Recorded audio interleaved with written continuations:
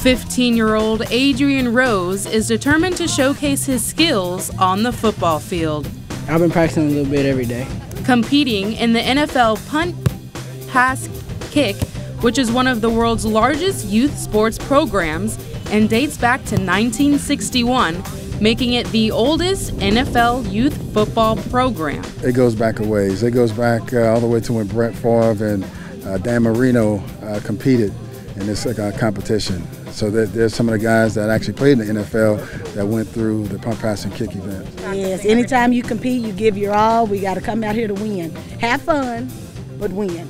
And that's exactly what future Hall of Famer Peyton Tatum came to do. He wants to win his age division, but has a much bigger dream in mind.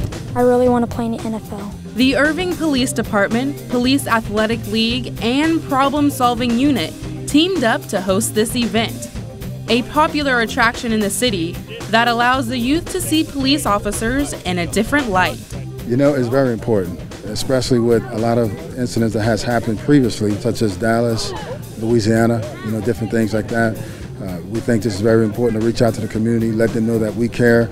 We're not trying to build any type of wall between us and the community. We need them for everything to work, just as the community needs us. Participants are divided up by age and judged on their skill level.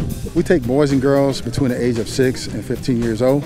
It's free to participate. All they have to do is fill out a waiver form that's provided by the NFL and also the police department. Once they complete that, they can compete. 89 point something feet I honestly did not think I was going to get that far. It wasn't just the boys showing off for the judges. The girls earned top scores on the gridiron too. And how'd you do? I think I did good. Good. You think you beat your age group? Mhm. Yeah. Destiny Bryant is beating the odds when it comes to playing football. I want to say that girls are capable of doing a lot of things that boys can do. Girls can prove boys wrong. Boys aren't the only ones that can play football. People think you can't play or anything. I've done that. They're like, you can't play that. You're a girl. It doesn't really matter what you are. Like, I'm I'm better than my brother, and he's a boy. This is not a battle of the sexes. The program gives an equal opportunity to both boys and girls competing individually. The NFL punt pass kick program consists of four rounds. Locals, which is happening right now at Sam Houston Middle School, Sectionals will be in Southlake and regionals will be held at the Cowboys Stadium. The ultimate goal for these participants is to make it all the way to Orlando, Florida. First place winners are the only winners that advance to the next round. So if you win first place here at the local, you go to the sectionals round.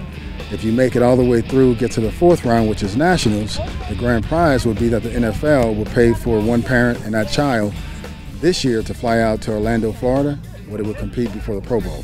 From here, I want to go to regionals, then go to nationals. Uh, we're trying to make to an NFL game with me taking whoever goes. Anybody that goes, I'm the number one sponsor. I'm going. So. And with the help of the Irving Police Department, these young athletes will fly first class to the big leagues. Amshi Stephenson for City Source.